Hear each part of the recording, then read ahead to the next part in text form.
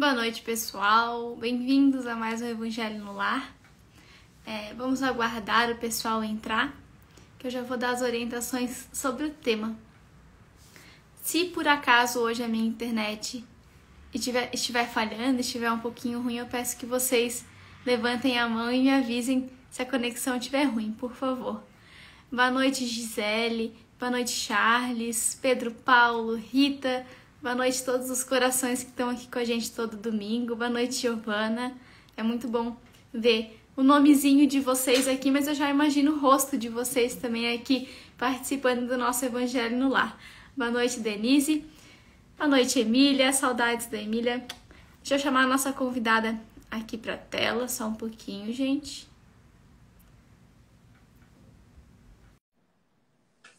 Convite enviado para nossa convidada. É a primeira vez da nossa convidada aqui no Evangelho no Lar. Tenho certeza que vocês vão adorar. Boa noite, dona Rose.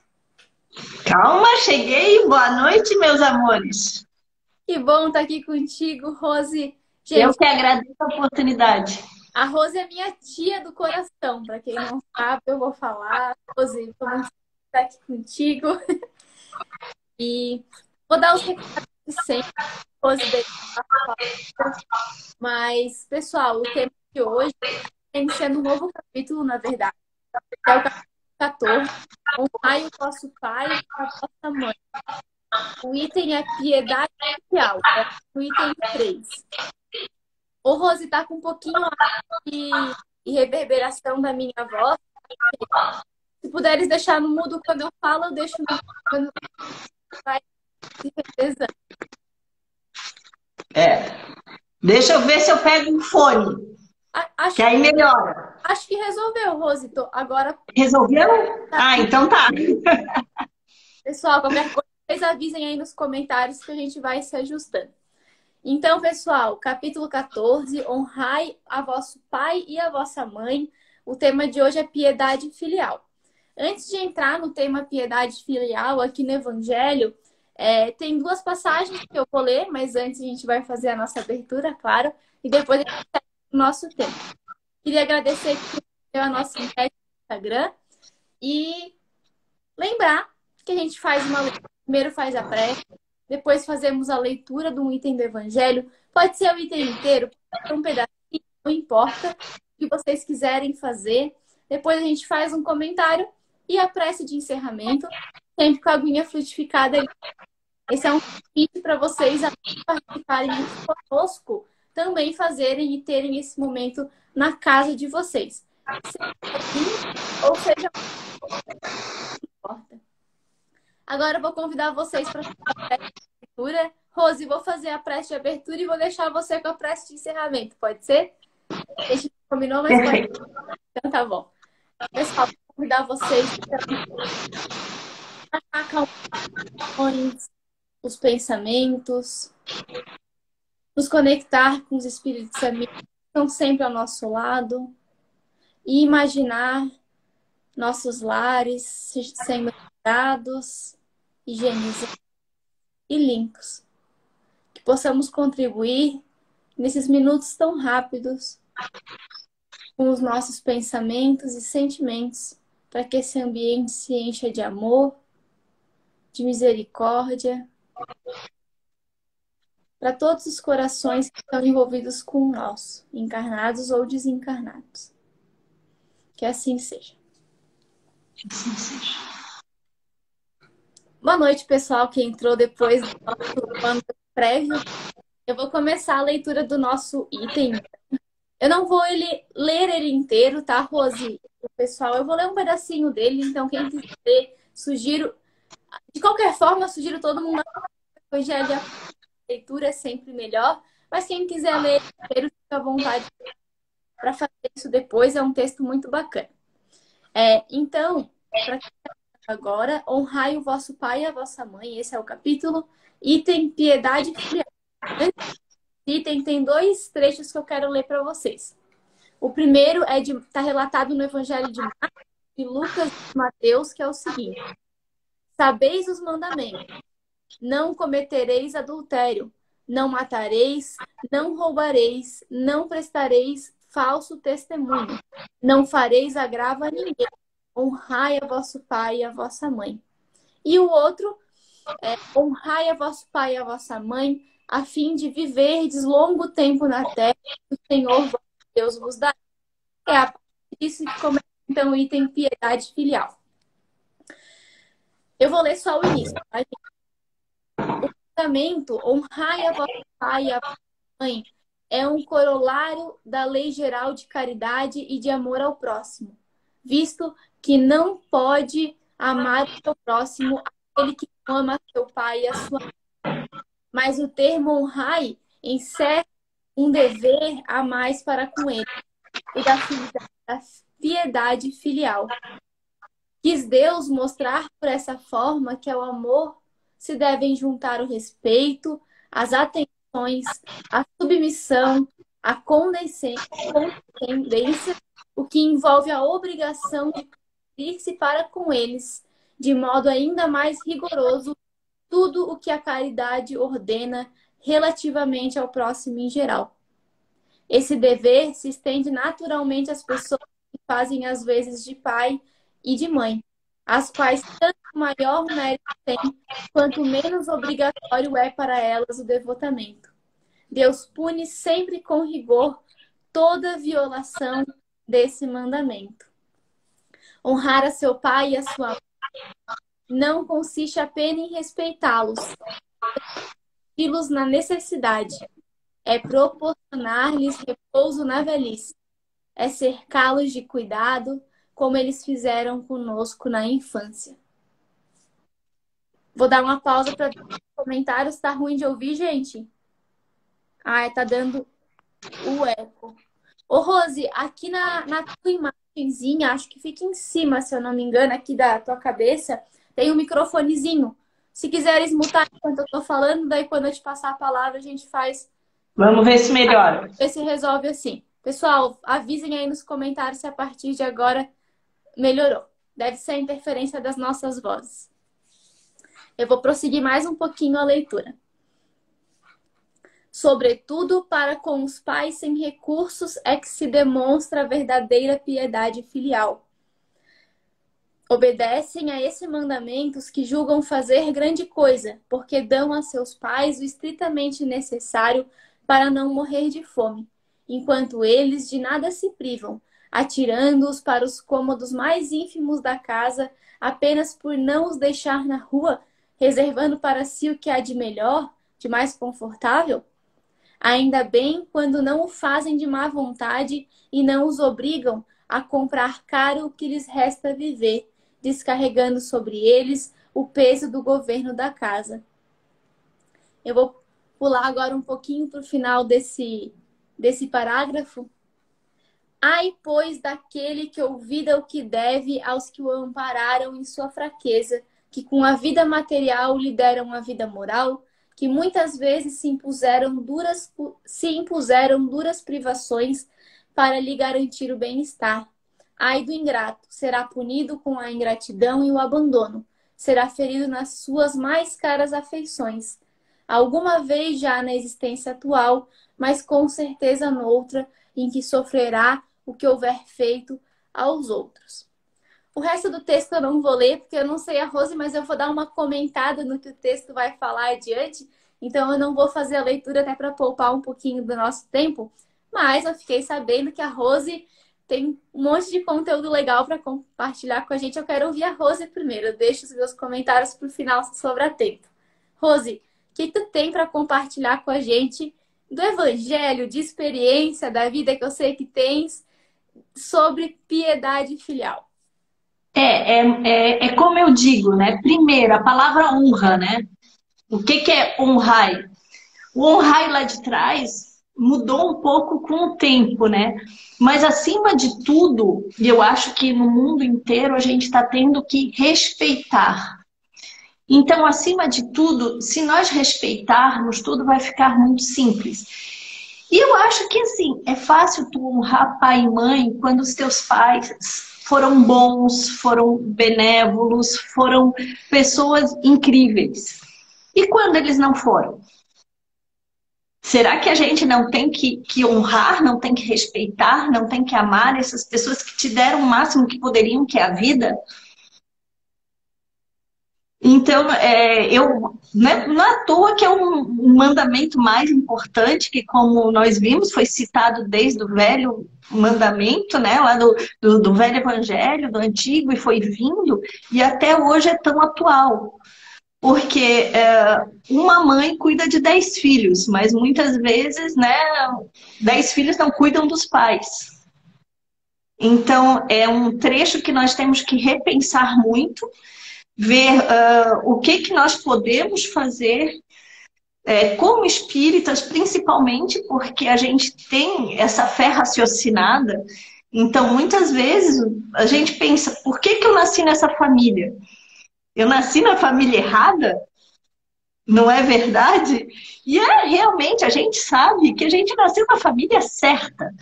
Se está alguma coisa dando errado, nós não sabemos o que a gente aprontou em outros. Eu, eu sou daquela que eu digo que eu devo ter aprontado muito, porque a gente, né, eu fui uma criança muito difícil.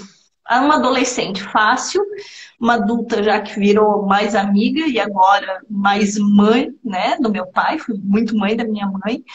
Mas eu fui uma criança insuportável, gente.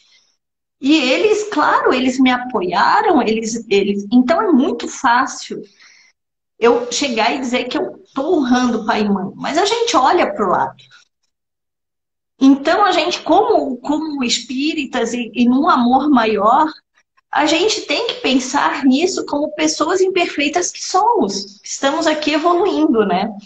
E nesse texto ele fala coisas incríveis, como também é, na pergunta lá, 681 do Livro dos Espíritos, fala lá, né? É, e daí a gente tem que, que sustentar, trabalhar para os pais.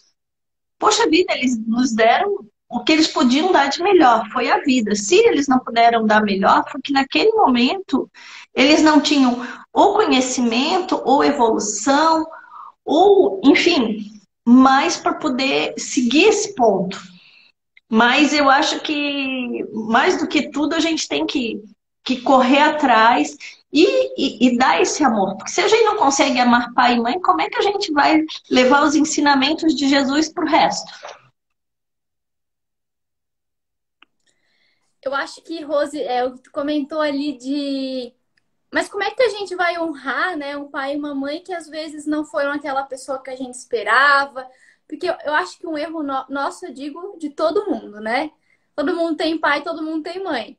É, é de achar que os pais e as mães são perfeitos, não erram, que fazem tudo sempre certo. Então, qualquer expectativa que se frustra, pronto, né? Nossas águas já caem por terra e a gente pensa assim: ah, se eles não deram aquilo que eu precisava, que, que eu tenho que honrar alguém que não me deu o carinho, não me deu o amor que deveria ter dado, né? Tem muito esse pensamento hoje circulando. Mas tem que lembrar o que tu trouxe também, né, Rosa? Eles deram o que é o mais difícil, eles nos deram a vida. E Emmanuel, ele nos fala que nós, filhos, enquanto filhos, né, desencarnados, lá no plano espiritual, a gente implora, na maioria das vezes, os filhos imploram para ter esses determinados pais como os pais aqui na Terra mais uma vez, outra vez, enfim, para quitar débito, quitar algumas dificuldades e poder mudar aí a trajetória. Então a gente implora para ter os pais que a gente tem. Não são todos os casos, não dá para generalizar, mas Emmanuel traz que é a maioria dos casos é assim. Sim, então só tendo essa noção, né, Rose, da imortalidade da alma já muda o negócio já fica um pouquinho diferente, a responsabilidade já fica maior de honrar pai e mãe, né? Sim, como o próprio Edivaldo fala que até hoje a mãe dele desencarnada, ela pega e fala né? toda manhã e, e, antes de dormir, ela chega para ele e diz, né? Você já orou hoje, meu filho? Mas ele, eu tô cansado, mãe, eu já tô com 90 e poucos anos e tal. Não, meu filho, você tem que orar mais. Então, quer dizer que essa, é, os nossos pais, acima de tudo, eles estão ali para nos mostrar o melhor. Às vezes, não é o nosso melhor. Mas isso é um outro, é um outro papo. Nesse momento, o que, que a gente tem que pensar? É que eles, acima de tudo, nos deram a vida, eles aceitaram a responsabilidade, que é uma baita, para mim, a maior responsabilidade que tem, de nos botar no mundo e nos encaminhar. Claro, às vezes, pelo meio do caminho, a gente sabe, não é tão fácil seguir o que a gente combinou lá em cima. Mas é uma parte nossa, não cabe a nós julgá-los se eles foram bons, se eles foram ruins. Cabe a nós aceitá-los, agradecer e dar o nosso melhor. A Deus é que é a prestação de contas depois, né? É isso que a gente esquece, que a prestação de contas não é com a gente. Não é a gente que tem que julgar se o pai foi um bom pai, se a mãe foi uma boa mãe. Cabe a Deus julgar. É, e muitas vezes o esforço, a tentativa é o que conta, é o que vale. Olha tanto esforço que os pais colocam na educação. E não é só na infância, né, Rose? Que nem você comentou aí do, da mãe dele até hoje. Aparece. Divaldo, já rezou, Divaldo? Reza, Divaldo. Mais um pouquinho, Divaldo. Então, pai e mãe é, é um laço eterno. A nossa família espiritual é bem maior. Temos alguns pais e algumas mães, né? Mas são laços internos. A Emília comentou aqui, né? Independente do quão positiva tenha sido a experiência, penso que todos os pais dão o que podem, o máximo que conseguem, material e emocionalmente. Eu, é, eu não sou mãe, né, gente? Então eu tô aqui nessa encarnação, não sou mãe ainda. Eu suponho que todo pai, toda mãe sempre se esforça o máximo. Assim, às vezes parece que não, mas sim tem esse esforço. Queres comentar? É, no meu caso, eu também não sou mãe, né? Mas eu, depois de uma certa idade, eu tornei mãe dos meus pais.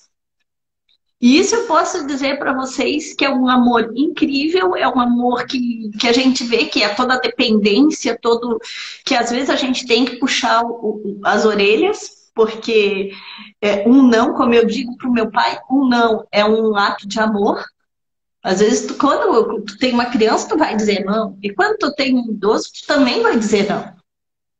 E aí é que tá. É essa parte do honrar, de dar o respeito, de dar o amor que a gente tem que seguir. Né? Não é dizer sim também para tudo. Né? Não é porque o teu pai vai dizer uh, faça tal coisa que você vai friamente. Você tem um, um, um, cérebro que você tem que pensar e ver as consequências. Porque, infelizmente, a gente sabe que nem todo mundo ainda tem um discernimento de ver o que é melhor para todos, né? E por isso que a gente tem que ler tanto, que a gente tem que estudar tanto, que a gente está aqui para evoluir e, em momentos como esse para a gente aprender um pouco mais, né? Com certeza. Ô, Rose, sabe de uma coisa? Eu, quando estava lendo é, esse texto, eu não só lembrei também de pai e mãe, eu lembrei de vô, eu lembrei de vó, eu fui expandindo, porque essa é a proposta, na verdade, do evangelho, né? É a gente começar no ciclo, que a Rose comentou. Pai e mãe, porque se a gente não conseguir honrar pai e mãe, quem que a gente vai honrar, né, Rose? Ninguém. Então, é, mas é expandir. Tanto que Jesus, na hora da crucificação, ele honrou ele ainda teve essa devoção ali a Maria, aos, que estavam uhum. falou, tá aí o seu filho para o João e olhou para o João, João, aí está a sua mãe, que a gente tem que expandir os nossos pais, as nossas mães, os nossos irmãos. E eu tive esse pensamento e se, se eu precisasse resumir esse item num, no que, que mais me tocou, né, Rose? Aquilo que mais me fica na cabeça é que não é os nossos pais, eles não precisam dessa honra muito grande. É, na maioria das vezes é uma coisinha tão pequenininha, é recorrente, mas é pequeno, não é não é o suporte financeiro para fazer grandes coisas, não é passar 24 horas do dia, 7 dias por semana do lado deles. Alguns casos exigem sim, com certeza, mas o que a maioria pede, esse honrar, é a atenção, é ouvir, é ajudar, às vezes, a mexer no WhatsApp, né, Rose? É deixar um bilhetinho, é deixar uma flor, é ligar dizendo que lembrou. Às vezes, cinco minutos de ligação fez o dia daquela, daquela mãe, daquele pai, a gente sabe que faz. muito mais feliz. E é esse pequeno gesto que é o honrar. E, e olha quão pequeno é, né, Rose? Frente a tudo que um pai e uma mãe faz, o que, que é fazer Exato. Coisas, né? Não, e o agradecer. Às vezes a gente esquece, nas loucuras do dia a dia, a gente esquece do agradecer. Obrigada, obrigada por aquele momento, naquele dia que você me falou tal coisa que até hoje eu me lembro. Sabe? E são essas coisinhas que fazem, que demonstram, olha, meu pai, minha mãe, eu sou tal pessoa porque você me mostrou, você deu exemplo. E, e acima de tudo, né, repassar isso também para os que estão vindo, que está uma geração um pouco difícil, que a gente sabe.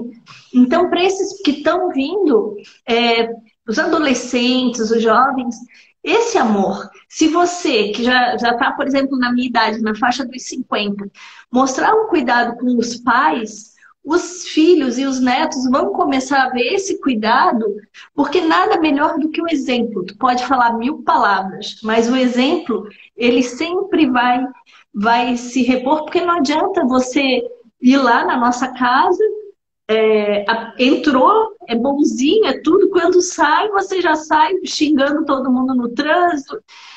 A coisa não está funcionando assim. A gente sabe que a gente de vez em quando solta aquela buzina, né? Que a gente.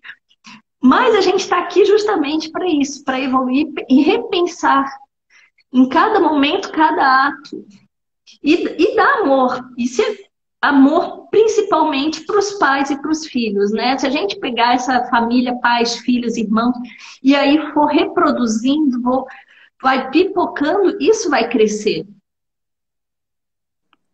Legal. Ô, Rose, é, sobre esse teu comentário de dar o amor, dar o carinho, de agradecer, é, os filhos muitas vezes acham que é um esforço danado, às vezes é, a gente sabe que há. Mas eu trouxe até uma frase de Joana que eu achei ela bem forte. É, mas eu trouxe porque fica bem claro o quanto isso é o mínimo o mínimo que nós filhos podemos fazer. Eu vou pedir licença para ler a frase de Joana para vocês que me impactou. É, Joana de Angeles. Toda gratidão sequer retribuirá a fortuna da oportunidade fruída através do renascimento carnal. O carinho e o respeito contínuos não representarão oferenda compatível com a amorosa assistência recebida desde antes do berço. A delicadeza e a afeição não corresponderão à grandeza dos gestos de sacrifício e da abnegação demoradamente recebidos. Os filhos têm deveres intransferíveis para com os pais, instrumentos de Deus para o trâmite da experiência carnal, a qual o Espírito resgata em sucesso e comprometimentos, então aqui ela traz que não se compara a dedicação de um pai e de uma mãe com esse carinho, com essa atenção, que isso é o mínimo que a gente tem que fazer. O Pedro Paulo comentou aqui, ó, no mínimo, fizeram tudo errado, né, Pedro? Se nada deu certo, no mínimo, deram a chance de estar tá aqui de novo na Terra, que a gente sabe que tá difícil, gente. Tá aqui na Terra não tá fácil, tem uma fila, né? E a gente tem que ser grato sempre. Ah, antes de te voltar a palavra, Rose a Sandra também deixou um comentário muito bacana antes, que é o único mandamento de honrar o vosso pai e a vossa mãe que traz uma promessa. Para que tudo nos corra bem na terra, devemos honrar o nosso pai e a nossa mãe. E, complementando então, o seu França deixou um comentário aqui também. Ele acredita que o termo honrar, sobretudo os pais, é um dever nosso é uma caridade para com eles. Eles nos deram a oportunidade e nos acolheram para uma nova existência na vida física, qualquer seja a situação e a condição. Vou devolver a palavra se tu quiser completar alguma coisa, Rose. Não, Joana, eu acho incrível, ela é um amor máximo, né? A gente sabe que ela conseguiu vir e amar sempre mais e mais, se ainda é possível, né? E ela falou perfeitamente. A gente sabe que os pais não cobram nada. né? Os pais não cobram. Eles né, deram a nossa vida e a gente vai seguindo, né? E realmente, se a gente parar para pensar, vai ser uma gratidão eterna e isso nada mais é do que a gente ter que honrá-los também eternamente. Eu quero que quando eu desencarne eu possa encontrar meus pais e minhas mães de outras e a gente poder se abraçar, chorar e matar a saudade, né? Eu sou como a Emília, muito chorona. Então a gente, nesse momento, eu sei que vai ser um momento de grande festa. E enquanto a gente está aqui, é evoluir tentar fazer o máximo, né? É difícil? É difícil. Ninguém disse que ia ser fácil. Tem momentos que a gente tem vontade de dizer, pô, principalmente na adolescência, né? Não é por aí, eu quero sair, eu quero ter liberdade, eu quero sair a noite toda e eles, não, amanhã tem aula tal. Então a gente sabe que tem adolescentes aí assistindo também. Então todo esse momento a gente tem que parar e refletir e, e, e voltar aos mandamentos. Por que não? É o maior deles,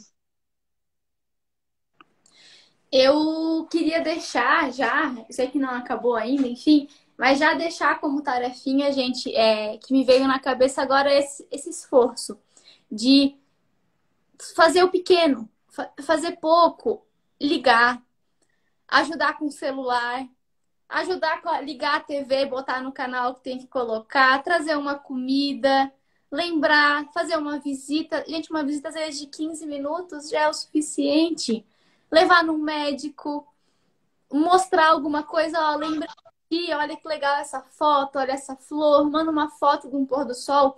A gente não tem noção, a gente, enquanto aqui encarnados, do quanto isso gera frutos lá na frente, frutos na imortalidade da alma, não é só aqui.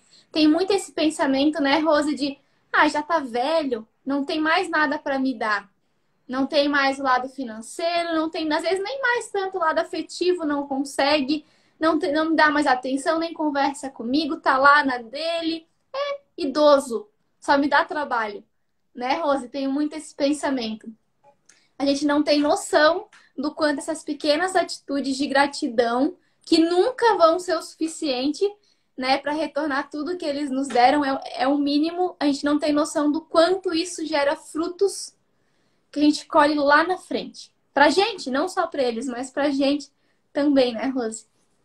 Principalmente pra gente, porque para eles todo, todo oi, todo carinho, tudo uh, é, para eles é demais. Eu vejo pelo aqui em casa, né? Qualquer coisa pro pai já tá ótimo, tá maravilhoso.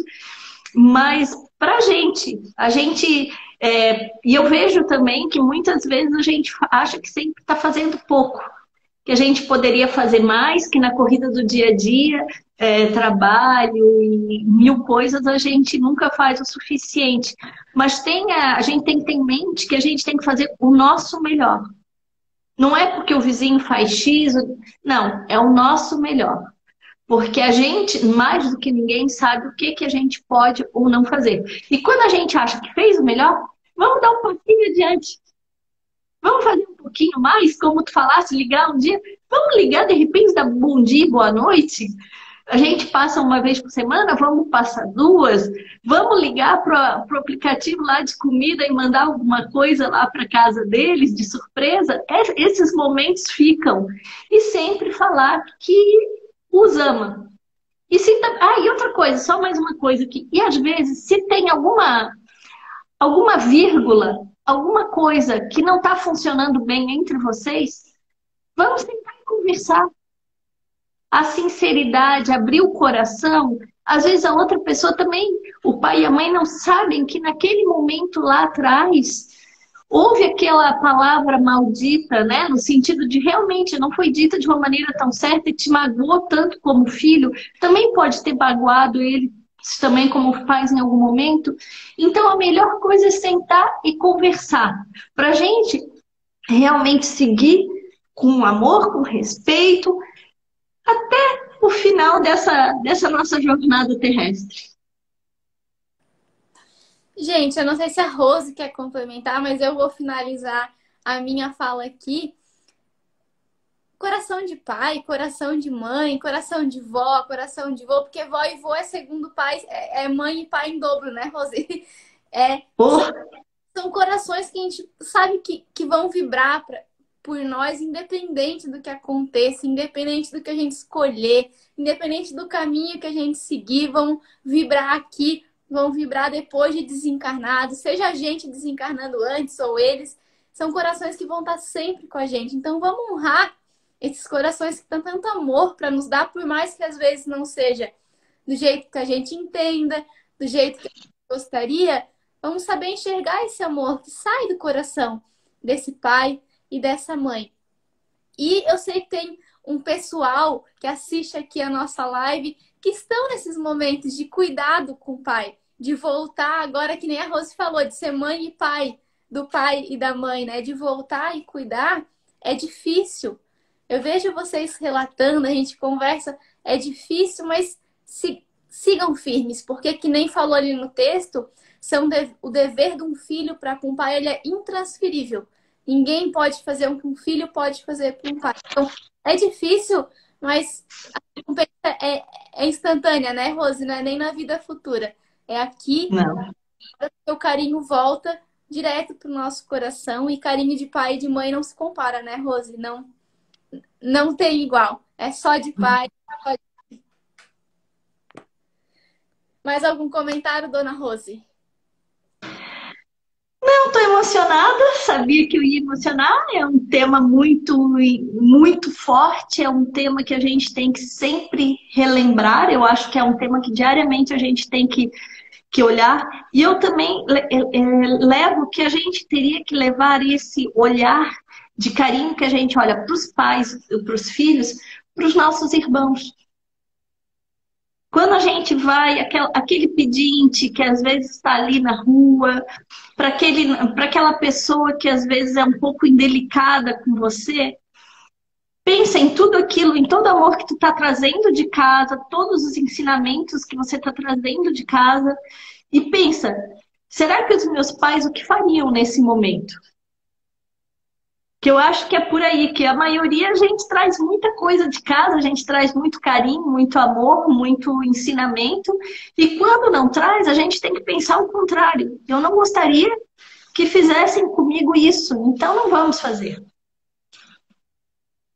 A Rose, muito bem colocado, tanto que o próximo item do Evangelho, na sequência desse das próximas semanas, é quem é o vosso pai e a vossa, quem são os vossos irmãos e a vossa mãe, né? Então é isso que o Evangelho vai trazer, que é a humanidade. A gente ainda não tá lá, né, Rose? A gente ainda não vê dessa forma, mas esse é o, é o nosso, é a nossa escadinha. Honrar o pai e a mãe, expandindo para o irmão, para os amigos, os amigos do trabalho, para o pessoal que encontra na rua, até que um dia a gente vai conseguir fazer isso com a humanidade inteira, que foi o que Jesus veio mostrar para gente. E para não dizer que eu esqueci, que eu estava quase esquecendo, o resultado da nossa enquete no Instagram, né, Rose? O pessoal respondeu. A pergunta que foi feita é se tinha ou não dificuldade de relacionamento com os pais. 42% disse que tinha dificuldade, alguma dificuldade de relacionamento, e 58% disse que não. Aqueles que não têm, ótimo, usem isso como combustível, continue honrando, amando, se relacionando e levem isso para a eternidade. E os que têm, mesma, mesma indicação, usem como combustível para honrar, para cuidar, porque tem responsabilidade nossa aí, né, Rose? Quando o negócio é difícil, a responsabilidade é nossa. Nem falo. Pessoal, obrigada pelos comentários, pela participação de vocês. O tema de hoje é muito lindo. Fiquei muito feliz de estar aqui com a Rose, que eu sei que é uma ótima mãe e pai de pai, né, Rose? Mãe faz todos os papéis, é um exemplo para mim, é minha tia do coração. Rose, obrigada por ter participado hoje aqui.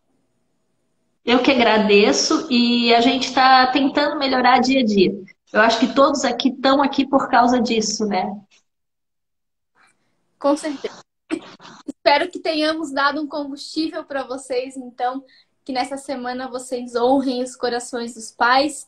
Rose, você faz a nossa prece de encerramento, por favor? Ser uma honra Então, eu convido a todos a agradecermos a Deus e ao nosso querido Jesus por mais esse momento de estarmos todos aqui juntos. Agradecer pela iluminação de todos os encarnados e desencarnados que estiveram aqui nesse momento, nesse evangelho tão lindo.